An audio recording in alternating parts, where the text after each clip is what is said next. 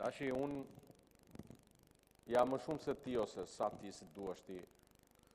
ë uh, një deputet që javën parlamentare e kam të ndarë 3 ditë seanca apo komisione, 3 ditë në territor. Nga viti 2005 e deri më sot.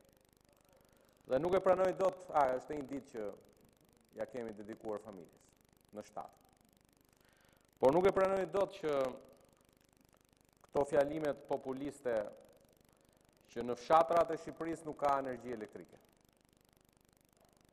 The këtu që ajde shkojmë bashkë nëpër fshatra dhe të shohësh që s'ka që nuk ndizen dritat se s'ka energji elektrike. Duhet të jemi korrekt me ato që komunikojmë me publikun. Dhe e vërteta e energjisë elektrike është që në fshatrat që përmende, në fshatrat që përmende, deri në vitin 2013, nuk ishte zëvendësuar një metër tel transmetues, një shtyllë, Që thyeshin shtyllat në mes sa binte bora e parë. Dhe nëse doni të bëjmë llogari se sa është investuar në rrjetet e shpërndarjes së energjisë elektrike, marrim 8 me 8, 2005-2013 dhe 2013-2020, 2021. Dhe i krahasojmë. Por, një gjë, mos i hyni këtij diskutimi se humbni me ne. Kur bëni këto krahasimet, shkoni rajonin. S'ka në rajon një që të krahasohet me një vendim ndër më të vështirët për këtë qeveri që të vazhdojë sot ta subvencionojë 75 dhe 80% të faturës së energjisë elektrike për çdo familje. Dhe mos harro që për familjet në ndihmë ekonomike ne japim dhe rimbursimin tjetër. Dhe ju e dini që për pjesën më të madhe për shkak të konsumit të tyre të vogël, e gjithë fatura e energjisë elektrike për familjet në në ndihmë ekonomike ju e dini që shkon paguhet nga shteti. Dhe meqë hyte ti diskutimit më gjeni pra, na thuaj çohu, na thuaj cili nga vendet e rajonit subvencionon energjinë elektrike në këtë mënyrë.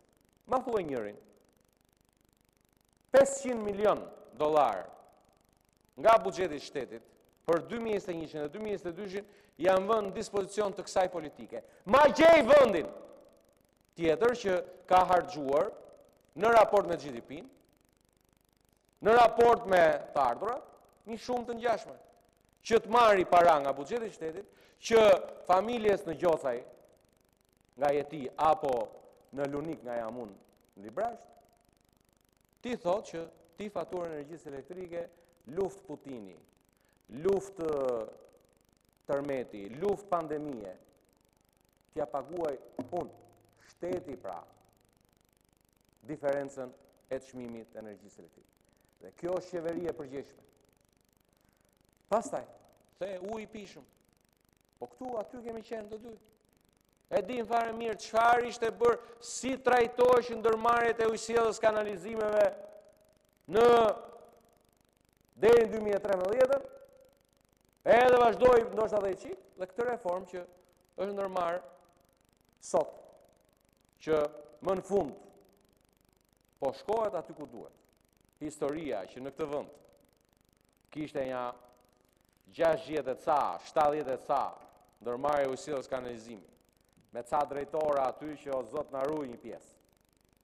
Vinte një kryetar bashkie, e merrte, pastaj vinte një tjetër i shfaroste, e vërteta është që të paktën, nuk po hyjmë shumë, po të paktën në 4 vitet e fundit, Reforma e ujësjellës kanalizime është reforma model. Pse? E para, po garantojmë investime.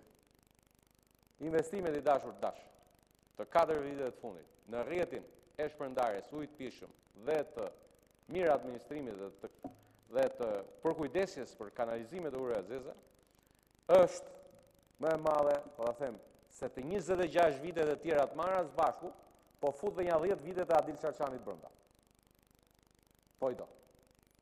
Dhe rezultatet e kësaj reforme janë të thjeshta. Në vitin 2013, mesatarja e furnizimit me ujë të pijshëm për çdo familje shqiptare në total në 28.000 km katorë ishte 8 orë ujë në ditë. Sot jemi 20. Natyrshëm, shumë dje, nuk jemi 24. Por ky transformim total nga 8 orë ujë në ditë mesatarja në Shqipëri në 20 për këtë kohë që nuk ishte bërë as për 70 vjet. Ktu ka qenë Shqipëria. Unë jam Fier. Kam qenë Librazhd. Librazhdi ujë sa të dush. Ujë nuk kishte. Sot, Librazhdi ka 24 orë ujë. 24 orë me një uj që merret nga në lartësinë 1500 metra. A kanë, a dhe ajo që po ndodh është që cilësinë e shërbimit në qytete, po e çojmë në cilësi shërbimi dhe në fshatra. Dhe për herë të parë, falë kësaj qeverie, Edhe fshatrat do të përfshihen në shërbimin e ujësjellësit të këtyre ndërmarrjeve. Qasja me 384 njësi që je në fshat vrit veten se qeveria s'të bi asnjë gjë, as ujë të pijshëm, as kanalizime, ka qenë qasja juaj. Prandaj jeni aty dhe prandaj do vazhdoni të jeni gjatë. Tjetra, Sepse kjo e ujit të pijshëm për mua ka qenë dhe mbetet gjë kryesore. Por ama, këtu kjo është Shqipëria, ajo? Që në të gjitha komunat e vendit, me atë politikën ndërto ku të teket, u ndërtua mbi kanalizime, u ndërtua mbi gjithçka. Shkojmë tek, se fshati këto do, shkojmë tek kanalizimet ose kanalet vaditëse dhe ato kulluese. Hajde t'i krahasojmë. A ishte investuar ndonjëherë nga qeveria në kanale vaditëse? Dhe si po investohet sot? Se ka një pyetje shumë të madhe. E keni lënë fshatin mas dore? E vërteta është, e vërteta është që Kjo qeveri po investon kanale vaditëse, do vazhdojë, duhet dhe më shumë, por të mos harrojmë, që janë tashmë me mijëra hektarë tokë, që nuk vaditeshin deri para pak vitesh, të cilave i është rikthyer ujë vaditës. I duhet zonës Myzeqesë I duhet një qasje tjetër duke kërkuar ekspertizën më të mirë për më shumë ujëmbledhësa, sepse ujëmbledhësat e vjetër nuk e përballojnë dot më ujin që kërkohet për këtë sistem të ri bujqësie, Se ka një histori këtu që bëhet një krahasim se në bujqësia, në vitet e komunizmit, ishte shumë e mirë, ishte një beter ishte bujqësia në kohën e komunizmit. Leri këto historitë, e vërteta është që sot bujqësia është komplet në një nivel tjetër.